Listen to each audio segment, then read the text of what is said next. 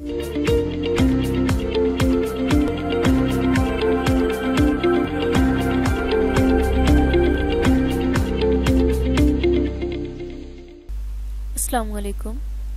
M S Excel की पिछली video में हमने ये सीखा था कि किस तरीके से हम एक्सेल को यूज़ करते हुए फ्यूचर वैल्यू का फ़ंक्शन अप्लाई कर सकते हैं। सो so, आज की इस वीडियो में हम सीखेंगे कि किस तरीके से हम मंथली पेमेंट का फ़ंक्शन अप्लाई कर सकते हैं। सो so, अगर हम मंथली पेमेंट की बात करें तो इसकी भी एग्जांपल वही होगी जो हमने फ्यूचर वैल्यू के तौर पर ली थी।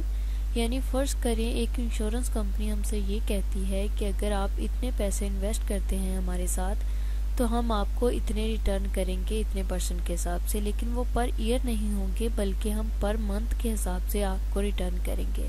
सो अब हमने देखना था, ये तो था फ्यूचर वैल्यू कि हमने ईयर के हिसाब से देखा कि फाइव ईयर के हिसाब से हमें इतनी वैल्यू आएँगी, इसी तरीके से ट्वेल्व ईयर के हिसाब से इतनी आएँगी, जबकि अब हमने देखना है कि एक मंथ के हिसाब से हमें कितनी वैल्यू आएँगी, यानी कितनी फिगर होगी हमारे पास।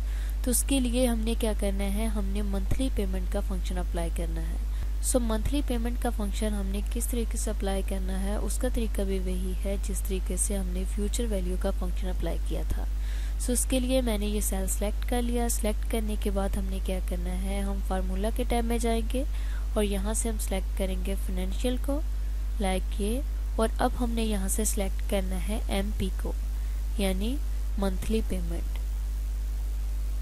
सो ये देखिए हमारे पास आ चुकी है मंथली पेमेंट पीएमटी सो हम यहाँ से इसे सिलेक्ट करेंगे। अब हमारे सामने एक डायलॉग बॉक्स ओपन हो चुका है। अब हमने यहाँ पे सिलेक्ट करना है इसका रेट रेट में हम देंगे ये प्रॉफिट पर रेट हमने इसे सिलेक्ट कर लिया। सिलेक्ट करने के बाद आप देख सकते हैं कि ये जो रेट है ये फाइव ईयर के लिए है टाइम पीरियड जबकि हमने इसको मंथ में कन्वर्ट करना है तो उसके लिए हम क्या करेंगे? हम यहाँ इसे डिवाइड करेंगे 12 के साथ।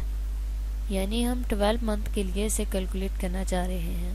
सो so, हमने यहाँ पे डिवाइड का आइकन लगा दिया और उसके आगे 12 कर दिया। उसके बाद हम यहाँ पे करेंगे नाइपर में। नाइपर में आके हम यहाँ से सिलेक्ट करेंगे टाइम पीरियड को लाइक कैसे, उसके बाद है पीवी यानी प्रिंसिपल वैल्यू उसको हम यहाँ से सिलेक्ट कर लेते हैं लाइक कैसे, ये हम इनिशियल अमाउंट को ही सिलेक्ट करेंगे। सिलेक्ट करने के बाद आप देख सकते हैं कि अब भी हमारी जो वैल्यू है यानी फिगर है वो माइनस में आ रही है। जबकि हम चाह रहे हैं कि ये पॉजिटिव में आए तो उसके लिए हम प्रिंसिपल वैल्यू के शुरू में माइनस का साइन लगा देंगे। लाइक like ये मैंने माइनस का साइन लगा दिया तो अब आप देख सकते हैं कि ये जो हमारी फिगर थी, यानी वैल्यू थी, ये पॉजिटिव में कन्वर्ट हो चुकी है। सो अब हमने सिंपली क्या करना है? हमने ओके के बटन पे क्लिक कर देना है। मैं अगेन बताती चलूँ, क्योंकि हम मंथली कर रहे हैं इसे तो इसलिए हमने यहाँ रेट को डिवाइड कर दिया 12 के साथ, यानी 12 मंथ के साथ। उसके बाद हम सिंपली यहाँ ओके के बटन पे क्लिक करेंगे। तो आप देख सकते हैं कि हमारे सामने हमारी मंथली पेमेंट आ चुकी है। सो इसी तरीके से मैं यहाँ से इसे पकड़ूँगी और नीचे की तरफ़ ड्रैग कर दूँगी। लाइक ऐसे। सो ये देखिए, हमने एक फ़ंक्शन के थ्रू अपनी मंथली पेमेंट देख ली कि अगर हम इतने डिपॉजिट करते हैं, यानी इन्वेस्ट करते हैं तो हमें जो मंथली रिटर्न आएगा वो इतना होगा। सो आई होप कि ये वीडियो आपको अच्छी लगी होगी। अगर इससे रिलेटेड आपका कोई भी क्वेश्चन हो या कहीं से किसी चीज़ की समझ ना आ रही हो तो आप कमेंट सेक्शन में टाइप करके हमसे पूछ सकते हैं। Thanks for watching best of luck